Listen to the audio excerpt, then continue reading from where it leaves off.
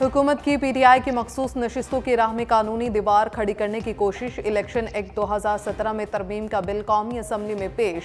Bill में मुतारफ तरामीम में कहा गया किसी सियासी जमात से वाबस्तगी का इकरारनामा तब्दील नहीं किया जा सकता।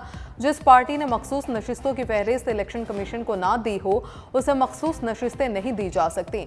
वज़ीर कानून आज़म नज़ीर ताड़र ने कहा, कई बार आइन की तशरी करते हुए उसे री राइट कर दिया जाता है। अदालतों को आइन की री राइट करने या उसकी शिकों को नया रंग देने का इख्तियार नहीं।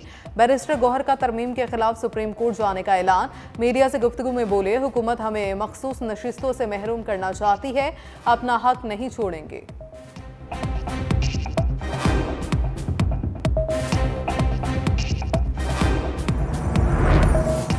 पहले जा जारहाना बाजिजाना। बानी पीटीआई का मौके फिर तब्दील। अडियाला जेल में सहाफ़ियों से गैर रस्मी गुफ्तु में सबक वजी अजम ने कहा, फौज अपना नुमाइंदा मुकर करे। हम मुजाकर के लिए तैयार हैं। चोरी किया गया मैंडेट वापस करने और गिरफ़्तार कारकुनों की रिहाई की शराइ भी रखते हैं। कहा, फौज पर कभी इल्ज़ाम नहीं लगाए, बल्कि तनकीद की महमूद खान अचुकजई पर भरोसा है। उन्हें बातचीत का इख्तियार दे दिया है। मुल्क में गैर एलानिया मार्शल लॉ नाफिज है। मोहसिन नकवी ने आई पंजाब से मिलकर हमारे लोगों पर जुल्म किया। उनसे कभी बात नहीं होगी। मरियम नवाज़ की हुकूमत को फाशिस्ट करार दे दिया।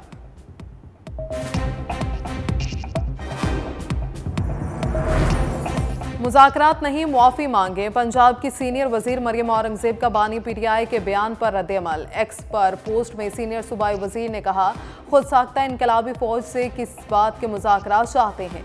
फाशिस्ट की बात सिर्फ़ और सिर्फ़ इकतदार के लिए होती है। इकतदार की खातिर आइन तोड़ने वाला फाशिस्ट होता है। विफाक वज़ीर ने पी टी आई को दहशतगर्द जमात और अदम इस्तेकाम की जिम्मेदार करार दे दिया। कहा, पहले कहते थे छोड़ूँगा नहीं, अब मुजाकरात के लिए मेहनतें की जा रही हैं। आप कभी गिरेबान पकड़ते हैं, कभी पाँव। कौमी सलामती पर कोई कॉम्प्रोमाइज़ नहीं होगा।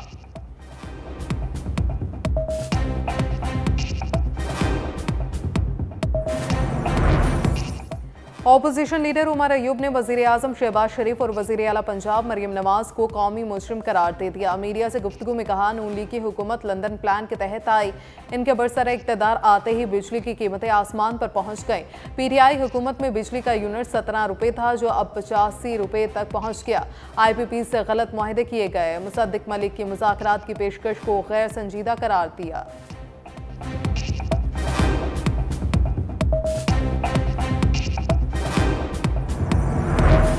आवाम को रिलीफ आईएमएफ की मंजूरी से मशरूत क्या आवाम ना ही समझें? कराची चैम्बर ऑफ़ कॉमर्स में खिताब करते हुए विफाक वज़ीर ख़जाना मोहम्मद औरंगज़ेब ने कहा आईएमएफ शराइ में रहते हुए जो रिलीफ मुमकिन है, वो यकीन दिया जाएगा। सिर्फ़ तनख्वाहदार तबके पर बोझ डालना मुनासिब नहीं। रिटेलर्स, बिल्डर्स समेत हर शोबे को अपना हिस्सा डालना पड़ेगा। ज़राई टैक्स सूबाई मामला है तो है, सूबाई हुकूमतें इसे नाफिज करेंगी। शराय सूद में मुल्क ने महँगाई में कमी की नवी सुना दी। कहते हैं, महँगाई की शरह अड़तीस से कम होकर बारह फ़ीसद तक आ गए। मजीद कमी के लिए इकदाम कर रहे हैं। नौजवानों को रोज़गार फ्राहम करना वलीन तरजीह है।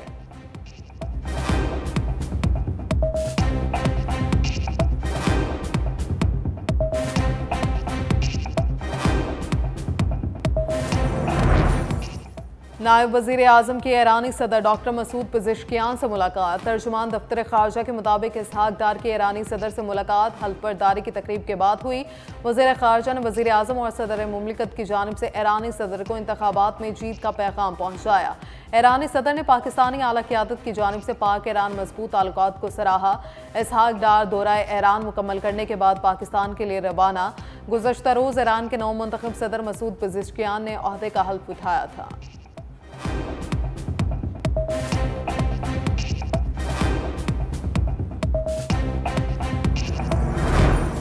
जमात इस्लामी मुतालबात पर डट गई, धरना ख़त्म करने से एक बार फिर इनकार। वज़ीर दाखिला मोहसिन नकवी का लियाकत बलोच से टेलीफोनिक रबता मुजाकर का दूसरा दौर आज होगा। हाफिज नईमरहमान ने धरने से खिताब में कहा, बिजली के बिल नाकबले बर्दाश्त हैं, आवाम पर रोज़ाना महँगाई का बोझ डाला जा रहा है। हुकूमत ने हर चीज़ पर टैक्स लगा दिया, सिर्फ़ सांस पर टैक्स लगाना बाकी है। अमीर जमात इस्लामी ने महँगाई और आई पी पी एस माहों के खिलाफ मुल्क भर में धरने शुरू करने का ऐलान कर दिया।